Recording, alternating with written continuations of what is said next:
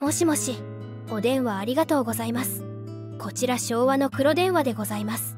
先日自身が司会を務める旅サラダにて休養から電撃復帰を果たしその元気な姿で我々を安心させてくれた俳優でありタレントである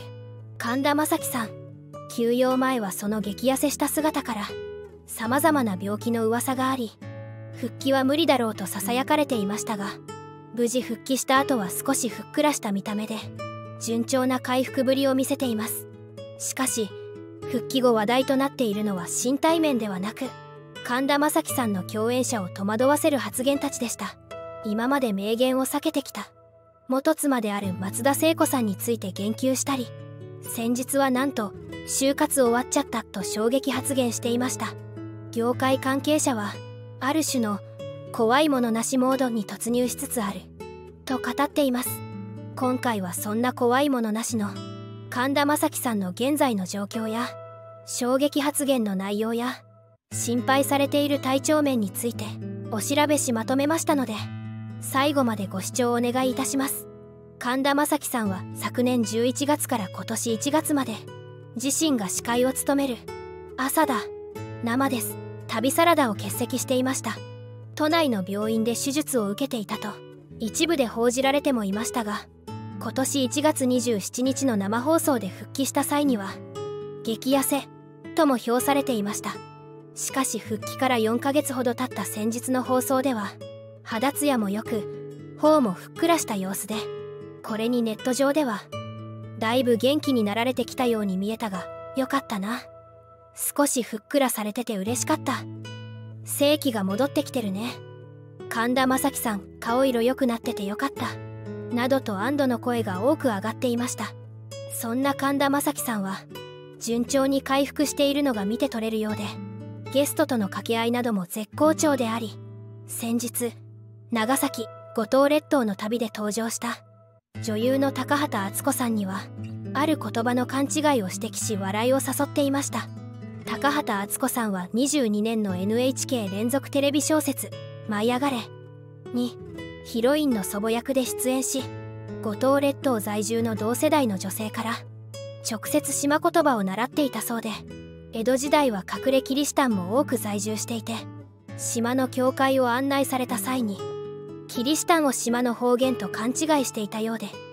キリスタンと話していました。その VTR のわずかな間違いを神田正輝さんは見逃しておらず VTR が終わったところで番組 MC の神田正輝さんは「敦子ちゃんキリスタンじゃなくてキリシタン」と突っ込みました。高畑敦子さんは「え私なんて言ってました」と台本で顔を隠し明るく笑いを誘い現場のムードを明るくしていました。そんな和やかな放送内で神田正輝さんは衝撃的な発言をしていました。高畑敦子さんが前日に公開初日を迎えた主演映画「お就活最春。人生ラプソディ」の PR をした際に年を取ることも悪くないなと勇気をもらえる映画となっております。ぜひ劇場でご覧ください。と呼びかけました。これに対し神田正輝さんは「いいね。年取るの悪くないですよ。敦子ちゃん。僕より4つ下なんです」としみじみし番組レギュラーで映画にも出演しているタレント勝俣邦和さんに「ぜひ見てほしいですね」と水を向けられると神田正輝さんは「もう就活終わっちゃってるけどね」と微笑みながら回答しこの衝撃発言には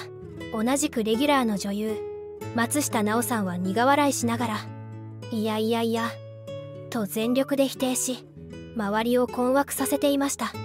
この放送後の Yahoo のコメント欄では視聴者からは神田正輝さんに対しこんなコメントがされていました。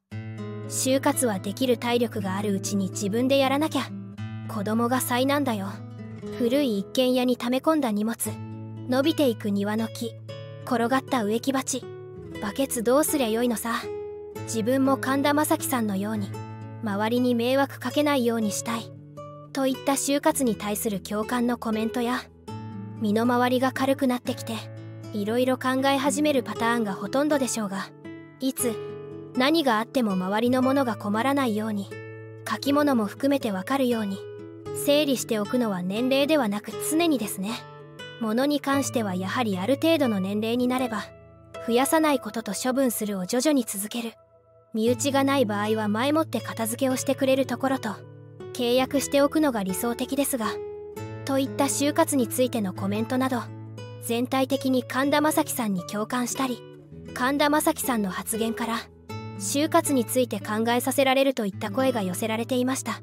そんな衝撃発言をした神田正輝さんは先日の別の放送でも元妻で歌手の松田聖子さんに自ら突然言及しスタジオを騒然とさせるという見ようによっては放送事故のような状況を作り話題となっていました。そんな奔放になってきた神田正輝さんに関し関係者はこう語っています。昨年激痩せが心配された神田さんは11月18日放送回から今年1月20日まで体のメンテナンスを理由に9週連続で旅サラダを欠席。詳細を明かさずに心配されましたが1月27日放送回で復活後出演を続けています。試食コーナーでも肉などを毎回完食。体もふっくらしてきた印象ですが何より最近面白いのは生放送で何を言い出すかわからない。神田さんの自由すぎるトークですね。4月27日の放送では福岡久留米の旅リポートをスタジオで紹介している際唐突に昔の奥さん久留米と割り込んでいました。同地出身の松田聖子さんに神田正輝さん自ら生放送で触れるという衝撃展開にレギュラーの松下奈緒さんや勝俣邦和さんらがフォローに追われるなど出演者らが苦笑してざわつく空気になりました。女性週刊誌の記者はこう語っています。神田は変なとこ振っちゃったななどと妙な雰囲気を笑い飛ばしたりその後「黙ってます」を連発して盛り上げるなど動じていませんでした。1985年に聖子さんと結婚し97年に離婚しましたが生番組で自ら元妻に触れることは異例ですね。松田聖子さんとの間の愛娘さやかさんは21年12月に急逝してしまい神田正輝さんは大きなショックを受けた同年1月所属の石原プロが解散した後はフリーとなり現在は旅サラダ以外の出演はほぼないような状態になっています。ただ最近の様子を見る限り心身ともに完全に回復している印象も強まっています。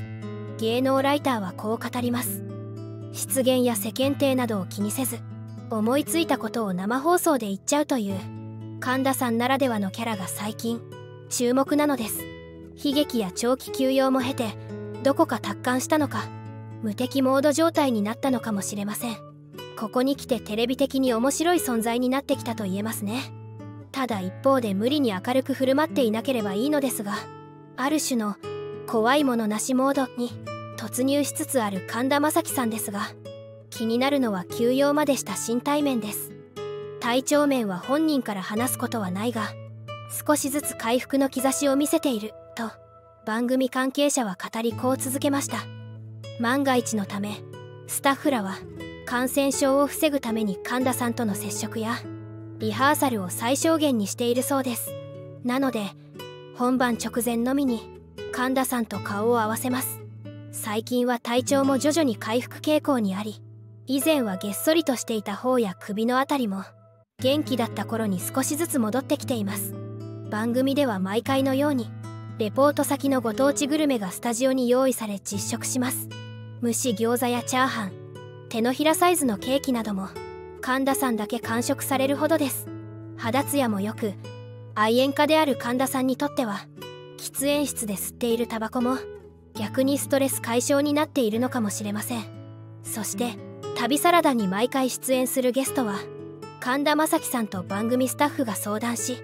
神田正輝さんの「会いたい人」の名前が候補に上がるそうです。番組関係者はこうも語っていました。普段情報番組ではなかなか見かけることがない俳優さんもゲスト出演します。